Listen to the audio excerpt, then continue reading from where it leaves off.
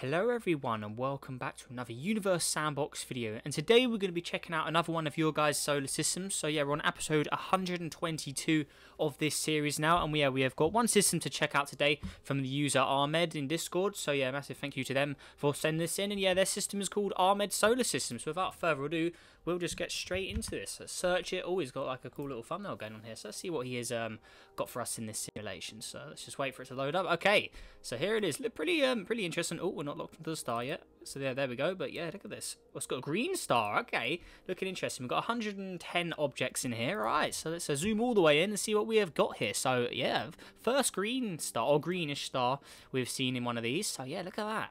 But it's not like overkill with the green. It's, it's still quite a pale green. I think that looks quite cool actually. It's also got a um, little like set of rings around it, set of asteroid asteroids. Um, and all that there. But yeah, anyways, moving on to our first. Um, actually, no, before we head to the planet, Let's check the stats. We've got to check the stats. Okay, so here we go. So it's bigger than the sun in pretty much absolutely everything. It's very luminous. So I guess it's sort of around the I don't know the let's uh, let's compare it with some stars actually. Let's just see how big this thing actually is. So my guess, just looking at that value, would be somewhere. Would it be around? Uh, no, I don't think it's Centauri size, is it? Let's um let's compare it with um Rigel. Okay, so it's okay. It's nowhere near the size of Rigel. Uh, what about Arcturus here? Yeah, I was thinking maybe it'd be sort of comparable to that. Compare it to Sirius there, and also the Sun. Yeah, it's it's it's quite a lot bigger than the Sun there. So, Pollux is about the size of Pollux. Okay, so yeah, we go. Right, that's that done though. Um, we can put the zone on as well. So yeah, there we go. Let's uh, turn that on. See, there we go. So. Right, right. Anyways, yeah, moving on. So the first planet. Let's actually get onto it now. So the magma planet. Okay, so let's um, check this guy out. So here we go. Right, so it looks have, um, oh, it's sort of made, well, it's appearing to look a little more green than it actually is, because it's meant, look up here, it's, by the image up here, that is meant to be yellow and red, but the star actually makes it look quite green and red, so that's, um, that's pretty cool, but yeah, there's um, what it's supposed to look like, so we'll go on a directional light there, so I've got to say, I think that looks really cool with the way the colours are blended with the patches of water, as well. It's got a bit of ice up there and stuff as well, a little um, glitchy looking. But yeah, just looking at the planet itself, it kind of reminds me of Io as well with these patches of water. It kind of reminds me of like the, the dark spots on Io. Let's actually get a comparison with Io. But I think this I think this planet looks really cool and it's designed quite well. So there, there's, there's Io there. So yeah, if we just uh, take a quick peek at eye, you can sort of see the darker marks on all of the black dots and stuff. That's sort of what those water patches remind me of, which I think is pretty cool, I have to say. I really like the way that's designed. So yeah, very, very nice job with the magma planet there. It's about the size of um, Mar Mars-ish sort of size. It's at 40 degrees. So yeah, there we go. He's obviously got to keep the water um, going on it there. We're now moving on to um, Ahmed's world itself here. So this one's looking pretty cool. I'm guessing this is the one that was in the uh, thumbnail here.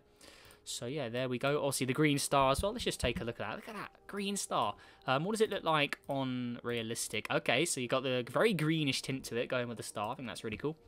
It's very similar stats to Earth, so I'm guessing we'll have quite high stats in the Earth similarity at 99.1. Life could at 7 there. So there we go looking good. Uh, it had a moon as well. Let's check out the moon. So we've got Ahmed's planet, Ahmed's moon. So here we go here. And the moon's quite um, similar looking to the planet as well. It's a little more of an ocean world though. Definitely a lot more um, oceans across the surface here. It's a lot colder as well. We can check the stats on this guy as well. But yeah, the life is a lot um, less due to the temperature, I'm guessing. But yeah, there we go. So yeah, looking really cool. I, I, I think the top of it looks pretty cool. I mean, look at now that that um, set of ice cap, or that ice cap there, that North Pole, I think that looks really cool the way that all spreads out there.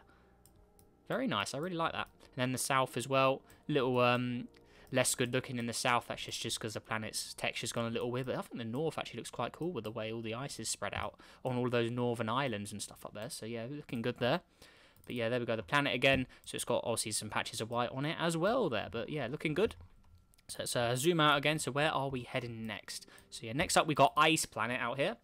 So zooming all the way in, so it appears to be a purple world, the yellowish sort of atmosphere um, going on it. So realistic mode, it looks like this. I think the realistic mode actually makes it look quite good as well. Look at that. So it makes the yellow more of a lime colour um, with the green starlight. But yeah, there we go. So that's it on directional there. But yeah, I think that looks really nice as well. We've got the yeah the yellowish clouds or the atmosphere. I think that blends very nice with the purple um, surface underneath as well. It's also got quite good um, temperature stats. So let's check out its similarities against. Yeah, again, quite high stats. That's two very, very high stat worlds um, in this simulation. So yeah, very, very nice job with those. So there is the ice planet. Now heading out, we've got um, Gas Giant out here. So this one, we've got a nice mix of colours on the Gas Giant as well.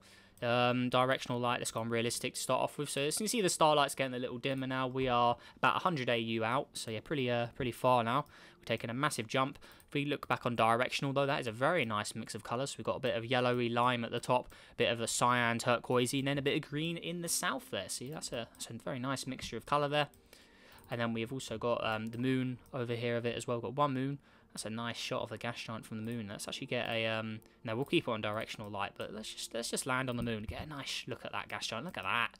Oh, imagine seeing that in the sky. I mean, the size of it, just the sheer size of it as well. I mean, that's that's um that's a pretty big guy there. I mean, look at that. Very very nice indeed there. But yeah, really really like the way um the gas giant looks um from the moon as well. So yeah, there we go. So let's um head out. Oh, there's another moon. Let's see what this is.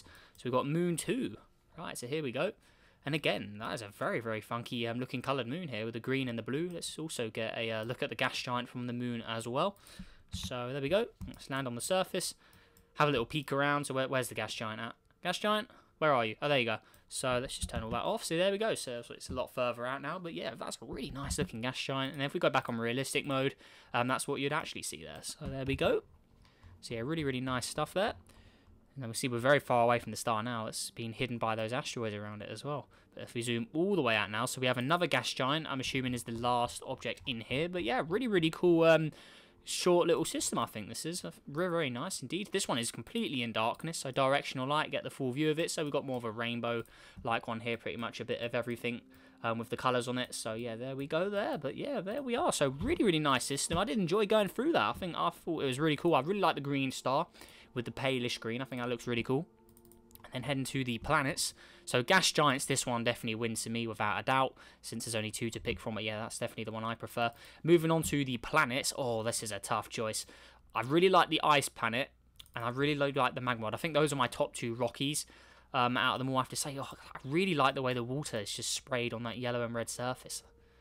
I like that. That's a hard choice, but I think I'll go with the ice planet. I really like the mix of purple with the ice on it as well, obviously, uh, and then the yellow um, atmosphere and clouds. I think that one just wins it for me, but that's a very close choice between all three of them because yeah, the Ahmed's world as well. I think that looks really nice with the um, the blending of colours, the surface, the ice on it as well. So yeah, very nice job there. And then um, down here we got the moons as well. I think out of the moons, it probably would be Ahmed's moon. It takes the cake for me.